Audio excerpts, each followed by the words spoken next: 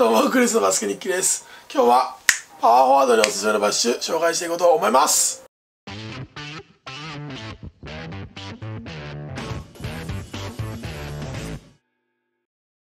パワーフォワードにおすすめのバッシュベスト5で紹介していこうと思います。えっと前にガードと、えっと、センターの動画は出したのでえっとあとスモールフォワードとパワーフォワードこの動画は上げていこうと思います。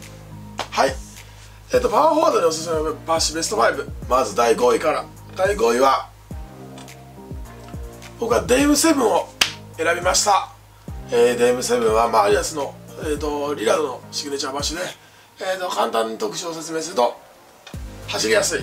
ライトストライククッションであのステップが踏みやすい。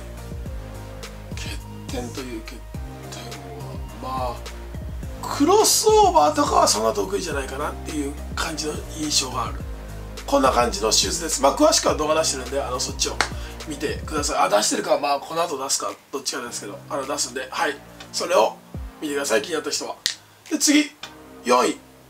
はジョーダン35を選びました僕は。ジョーダン35簡単に説明すると。マジでクッションがいい。マジで。マジでクッションがいい。本当に。まず1個目それ。2つ目えーとまあそこそこのグリップ力が担保さあ Dame もそうだったな。 Dame も Dame はめっちゃグリップ力がいい。これはそこそこなグリップ力って感じ。でえっと3つ目。マジで癖がある履き心地。これはもうジョーダン35はマジで癖ありだから合う人合わない人がめっちゃはっきりすると思う。本当に。っていうシューズです、まあ、詳しくはこれも動画をそのうち出すんであのサムネだけ作っとくね。これを。はい。動画出すんであのよかったらそれをチェックしてみてください。で3位。3位はナイキのフリックスということでナイキのフリックスはもうほぼ僕は全てのランキングに入れてると思います。ガードにも入れたと思うしセンターには入れてないけどおすすめしてたかな。もうどのランキングを作る時にも振りがやっぱ浮かんでくるようなシューズになります。ある程度全てのことができるような感じのシューズですね、まあ、簡単に特徴を説明すると、えっと、ドライブしやすい。クッションやポストクッションがしっかりしていてポスポポストプレーがしやすい。でえっと細い。こんな感じのシューズになってます、まあ、詳しくは動画出してるんでそれを見てください。ある程度本当に何でもできるようなタイプのシューズですね。本当に決定が細いことっていうぐらいですね、まあ、あの母子のところにしっかりあのズームクッションが入ってるのであの走り出しと合わせてそれが蹴れる。飛ぶ時と合わせそれを蹴れるって感じであのすごく反発性のいいいいバッシュになってます。2位はレブロン18を今回は入れました。最近レブロン18ローが出たから、まあ、レブロン18ローの方がどちらかというといいのかなというような気がします。えっ、ー、とこのシューズの特徴はもう本当にバカみたいなクッション。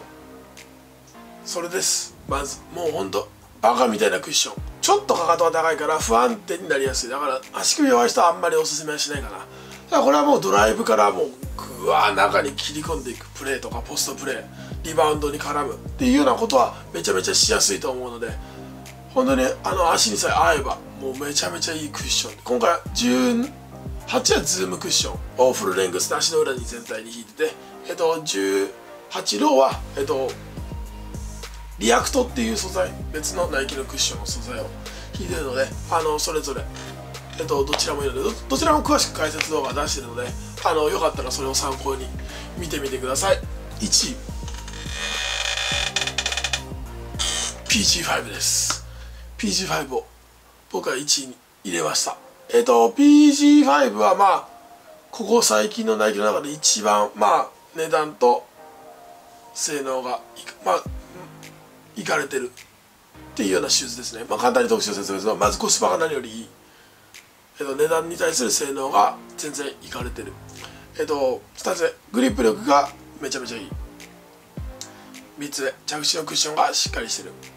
えー、欠点という欠点はそんなないけどまあ飛ぶというよりは着地っていうような感じかな。っていうような感じですね。簡単に特徴を説明まあこれも詳しく動画出してるので。でなんでこいつを1位にしたかっていうと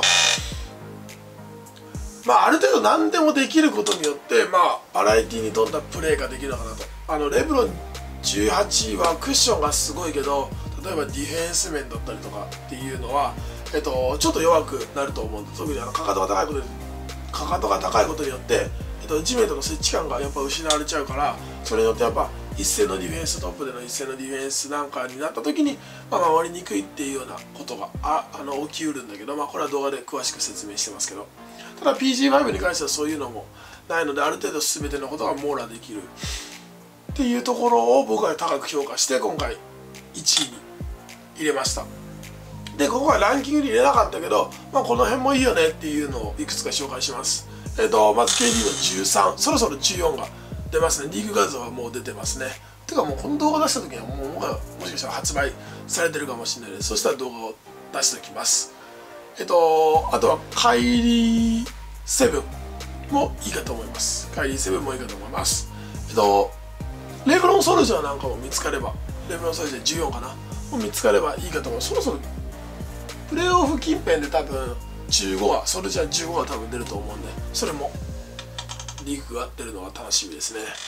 そんな感じかな特におすすめできるのは。まあ神戸シリーズなんかもあCosmic Unity もおすすめです。これもおすすめ。